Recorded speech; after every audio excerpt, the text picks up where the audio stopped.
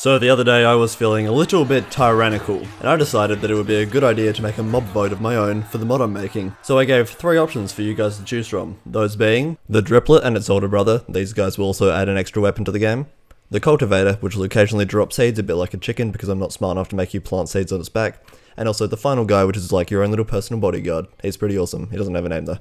So, I gave that poll a couple days to sit, and here's what you guys voted for. Congratulations! And so, because this mob won the vote, I'm dedicating this video to running through my process on how I'll add this mob to the game. Oh, and as a bonus, just because I'm nice, I'm adding the other two mobs to the mod. They just aren't taking the spotlight of this video. Oh, and uh, one last thing. For those of you looking for more content, you can either check out my YouTube community tab where I post behind the scenes content and bonus videos, you can join the Discord, or follow my Twitch. And now, let's get this show on the road. Minecraft, as of current, has about 80 entities, not including stationary ones such as item frames.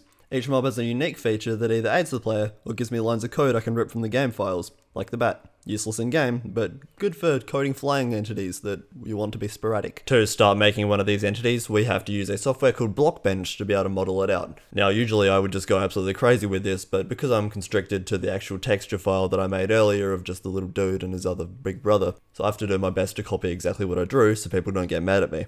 The little driplet itself was actually quite easy. It was literally just a cube with a couple legs and a dripstone spike on top of it. To also make the texture, I used the dripstone texture from the actual game, and I just copy and pasted pretty much all those colours over and changed them around a bit so they fitted the little guy. I also added a little face to him, and that's pretty much him done except for the animations, which we'll do afterwards. To make his older brother, I pretty much replicated the exact model of the Enderman from Minecraft. Someone in one of the Discord servers I'm in said that he looks a bit like Rick from Rick and Morty, but unfortunately for them, the spikes around his head are actually not hair, and are in fact a frill that he will use to display when he's being threatened or attacking. He also has this little shoulder piece. I am not really sure why, I just kind of added that as an aesthetic choice, and uh, it, yeah, it's there. Look at that. So this is looking pretty much on point, so I'll chuck a dripstone texture over him like I did with the other one, make sure to replicate the in-game texture as much as possible so it doesn't look out of place, and we are pretty much onto making some animation.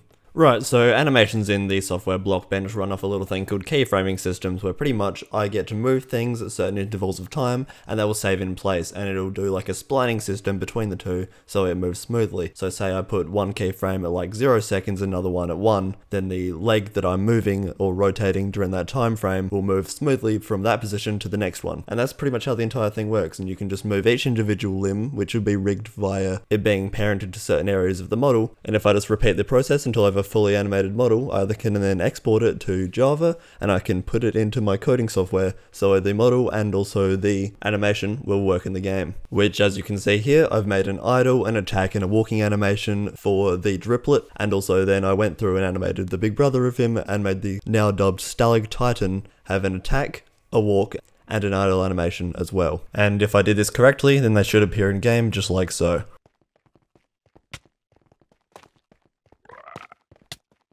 Now you're probably sitting there thinking, how the fuck did he just drag and drop that shit from Blockbench straight into Minecraft? Well, fairly simply, I did not. It was a couple hours worth of work, so let's go through that because we're about to do some coding. Yippee. To be able to add one entity, you need quite a few different files. This includes a main class file where you can register the entity, a client file where you can also register the entity for the actual model, another file to actually register the entity's name and also how big the hitbox will be, a Java file exported from Blockbench so you actually have the model, an animations file that you exported from Blockbench as well, the texture, an actual entity file that has all the attributes that you actually want the entity to have inside of it, a renderer file so you can actually see the model in game, a feature renderer file if you actually want to have something over the top like glowing eyes or etc.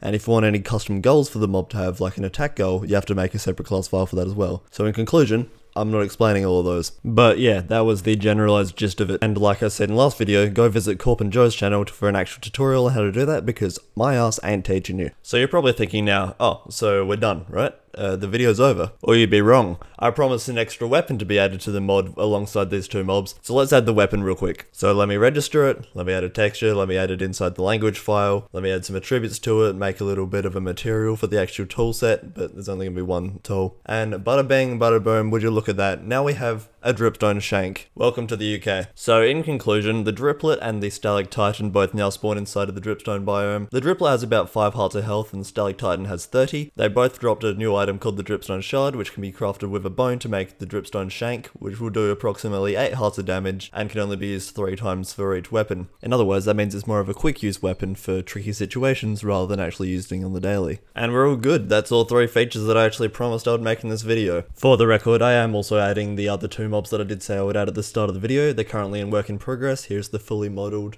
Calcite Golem, which was the little buddy fella, and here's the partially modelled Cultivator. Anyways, I hope you enjoyed the video, and I'll see you next time. Bye bye. I also um, added a secret mob.